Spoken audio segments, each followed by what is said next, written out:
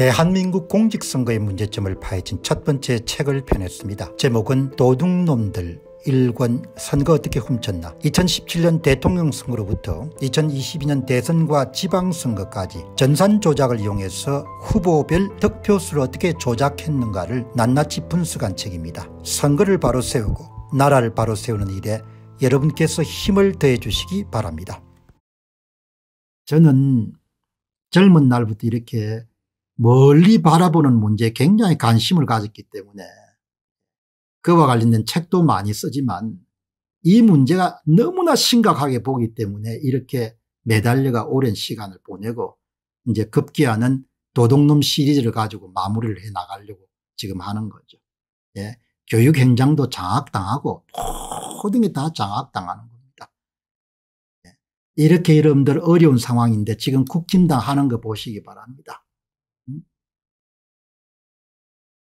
지금 국힘당 하는 걸 보게 되면은 아, 이 대한민국이 공직선거뿐만 아니고 당내 경선 조합장 선거 뭐 아파트 여러분들 뭐죠 회장 선거 이런 모든 부분들이 다 오염이 됐을 가능성이 높다는 겁니다. 오늘 홍준표 대구 광역시 시장께서 페이스북에 글을 올렸기 때문에 뭐 정치인 가운데 많은 분들이 글을 쓰지만 홍준표 시장의 글은 상당히 제가 유심히 보는 스타일입니다. 문장이 짧지만 전곡을 찌르기 때문에 네. 오늘 한번 살펴보도록 하겠습니다. 저는 누군가의 글을 읽더라도 뭐 그 사람 글에 옳고 그름을 따지는 사람이지 누구 함께 홀가닥 넘어가 가지고 아, 무슨 빤이 이런 것은 절대 될 수가 없는 사람 한번 보시기 바랍니다.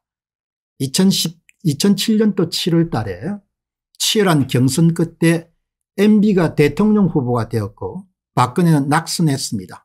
MB는 반노무현 분위기 덕에 쉽게 대통령이 되었고 당에 남아있던 박근혜는 그 후 사실상 당을 장악하고 미래 권력이 되었습니다.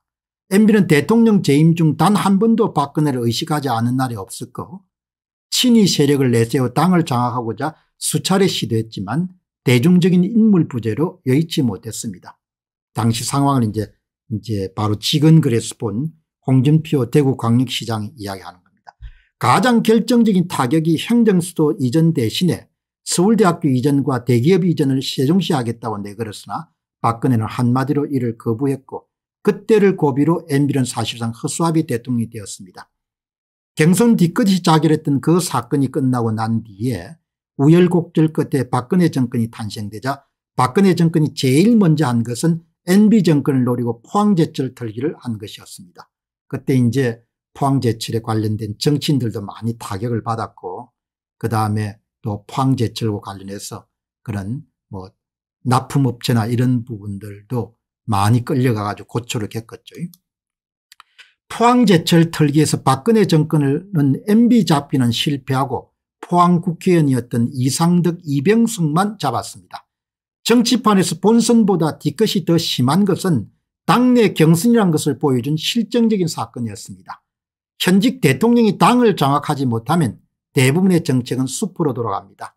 당이 미래 권력에게 넘어가는 순간 당내 분열과 혼란은 시작되고 그 정권은 사실상 힘을 잃습니다.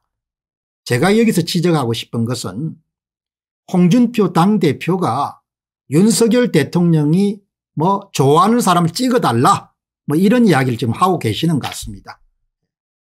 그러나 제가 분명히 지적하고 싶은 것은 윤석열 대통령이 좋아하는 사람을 찍는 것은 뭐 본인들이 알아서 할 일이지만 가장 중요한 것은 반드시 뭡니까 공정선거를 해야 된다는 겁니다. 저는 홍준표 대구광역시장의 글을 소개하면서 홍준표 시장의 뜻은 충분히 이해하겠지만 우리가 어떤 사안을 볼 때 판단을 할 때 경중이 있고 상하가 있지 않습니까 이런 주장을 하려면 가장 상위에 뭐가 있어야 되는 거 아니까 이번만은 공명정대한 선거가 이루어져야 된다. 그런데 그 다음에 현직 대통령이 당을 장악하지 못하면 이게 나와야 되는 현직 대통령이 당을 장악해야 되니까 그냥 대통령이 좋아하는 인물을 찍어달라. 이렇게 나오면 안 되는 거죠. 그리고 또 한 가지는 박근혜 예화를 드셨지만 박근혜는 출중할 정도의 대중적인 인기를 가진 상태였고 지금은 김기현 당대표가 되든 황교안 당대표가 되든 뭐 누가 되든지 간에 윤석열 대통령에 대해서 협조를 할 수밖에 없는 겁니다. 그랬습니까 이 박근혜하고 NBA 갈등을 사례를 가지고 윤석열 대통령이 좋아하는 사람 힘을 실어줄 수 있는 사람을 지원해달라. 아, 뭐 거기에 대해서 제가 뭐 강력하게 거부하는 건 아닌데 그거는 우선순위가 잘못됐다는. 공정선거를 통해서 당대표가 반드시 당선돼야 된다는 겁니다. 그런 면에서 이번에 나경원 사태는 그렇게 좋은 사례는 아닌 겁니다. NB와 박근혜 강 사건에 보듯이 그 사건은 이번 전당대회에서도 우리 당원들이 크게 염두에 둬야 될 것입니다. 물론 뭐 본인도 당원이니까 당원들한테 대통령이 힘을 더 실어줄 수 있는 사람을 뽑아주십시오 이렇게 호소할 수는 있습니다. 그러나 반드시 뭡니까 공정선거가 이루어져야 된다는 거죠. 이번 전당대회는 아직도 착근하지 못한 윤 정권을 우리가 어떻게 안착시키는가 먼저 생각해야 됩니다. 감정이 많더라도 생각이 다르더라도 어떻게 세운 정권인데 또다시 혼란에 빠지게 할 수는 없지 않습니까 뭐 홍준표 시장도 정치를 계속해야 되니까 더 이상 말씀은 안 하지만 어떻게 세운 정권인데 다음에 정권 넘어갑니다. 득표수를 만드는데 무슨 정권을 유지할 수 있겠습니까 에?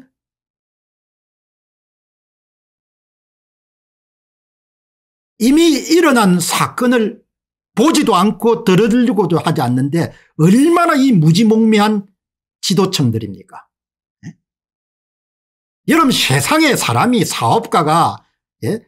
자기 사업을 말아먹는 비결이란 게 있습니다. 현실을 직시하지 못하고 의사결정을 내리면 사업가는 망하는 겁니다. 집안의 가장이 세상 돌아가는 것을 못 읽고 허황된 꿈에만 여러분 치우치가 의사결정을 내리게 되면 그건 100% 망합니다. 일어난 사건이 득표수를 만들어내는 세상이 됐는데 그거는 한 번도 여러분들 관심을 안 가지고 헛소리들만 하고 있으니까 그게 될 수 있겠냐 이야기죠. 어떻게 세운 정권인데 또다시 혼란에 빠지게 할 수, 어떻게 세우기는 어떻게 생각했어. 조작범들이 뭡니까? 경상북도하고 대구 강력시 실수를 해가지고 여러분들 윤석열이가 당선됐지 않습니까?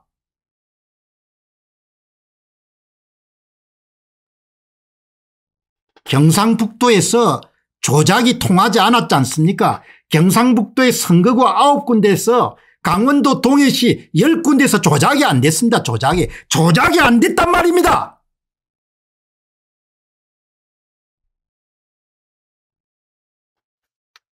실수로 우리가 당선됐다. 이걸 인정할 수가 없으면은 그러면은 2024년 총선도 기대 난망이고 2024년 총선은 눈치를 보겠죠. 그 친구들이.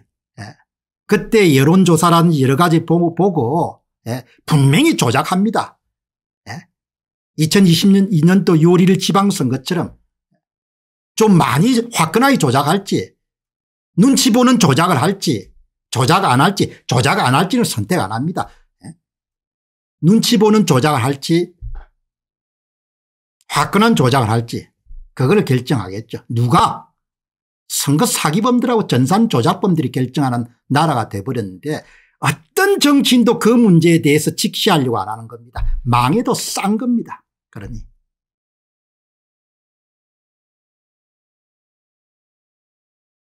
이거는 이 사람들은 전혀 해결할 능력이나 의지가 없는 겁니다. 그래도 정치판에서 홍준표 씨는 기본적으로 좀 우리가 거시로 합니다. 좀 기계도 있고 힘도 있는 사람이죠. 그러나 선관위 앞에서는 찍소리도 할 수 없는 겁니다. 나라가 이렇게 돌아가는 겁니다. 이번에 정치판의 치근거리에서 NB와 박근혜의 갈등을 잘 봤기 때문에 좋은 글입니다. 좋은 글인데 참 저는 이 글들을 보면서 핵심 사안을 모두가 침묵하고 눈을 감기 때문에 마지막에 나오는 주장이란 것은 자다가 봉창 두드리는 소리를 하는 겁니다. 국민들을 호도하는 이야기들이 엄청나게 많은 거죠. 예. 친윤 당대표 당선을 촉구하기 이전에 국힘당 내부의 공정선거가 되도록 노력해야 된다. 음. 박근혜 전 대통령 재임 시와 지금은 다르다 이야기다.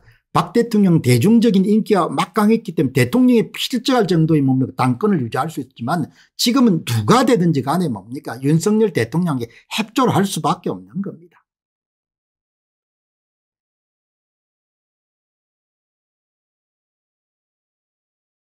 이렇게 여러분들 뭐 그러니까 어마어마하게 나라가 썩은 거죠. 예. 선거 무효 소송은 단심제인데 뭐 지금 대법관들이 하는 걸 보시기 바랍니다. 예. 나는 이 나라가 앞으로 어떻게 되더라도 하나도 놀랄 것 같지 않습니다.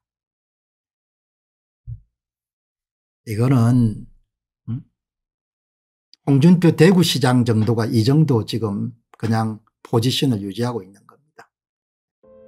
대한민국 공직선거의 문제점을 파헤친 첫 번째 책을 펴냈습니다. 제목은 도둑놈들 1권 선거 어떻게 훔쳤나 2017년 대통령 선거로부터 2022년 대선과 지방선거까지 전산 조작을 이용해서 후보별 득표수를 어떻게 조작했는가를 낱낱이 분석한 책입니다. 선거를 바로 세우고 나라를 바로 세우는 일에 여러분께서 힘을 더해 주시기 바랍니다.